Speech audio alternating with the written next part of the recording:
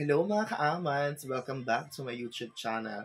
Please give naman ang thumbs up dyan no, at palike at pa-share na din ang aking YouTube channel. At syempre, huwag mong kalimutan mag-subscribe para lagi kang updated sa bawat upload ko. So, ito na nga, uh, alam niyo po ba, marami nagta... Kanina pala, ito muna, ano, para meron tayong introduction. So, kanina umaga, nakikita nyo naman kung ba't ako nakakorona because today is the day kung saan kinoronahan na ang bagong Miss Q&A. At ito na nga ay walang iba kundi si Patricia.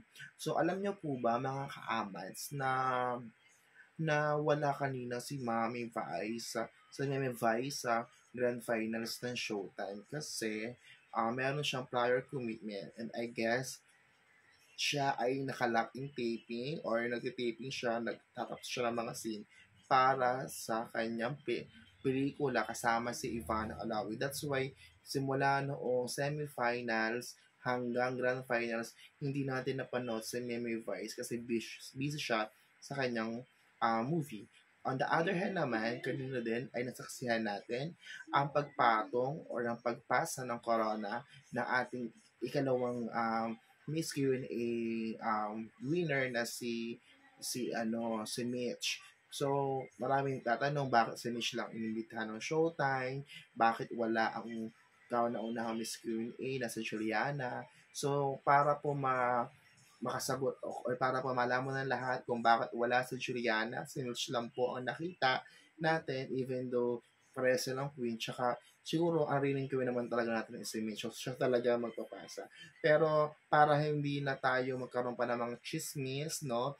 Si Juliana po in-invite ng ABS-CBN ng Showtime particular na dumalo sa Grand Finals. Kaya lang, meron siyang prior commitment which is nga, nasa ibang bansa siya, may ginagawa siya siguro isang project. So, yun po ang tunay na dahilan kung bakit hindi natin napapanood si Vice Ganda as a Juliana Palaciosha na pala, sila yun, basta si Presyoba, yan, hindi natin siya napa, hindi natin sila napapanood sa showtime. So, wag po tayo magbigay ng ng haka-haka at wag lang po tayong gumawa pa ng mga issue, ha?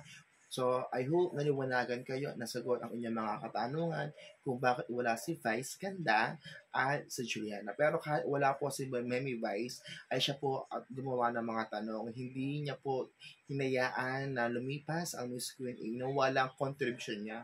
So, ganoon niya po kamahal ang mga LGBTQ community. So, saludo ko sa iyo, Memi Vice. I hope we gonna see you soon.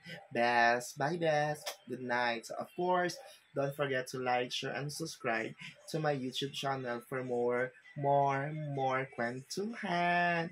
So, bye-bye na!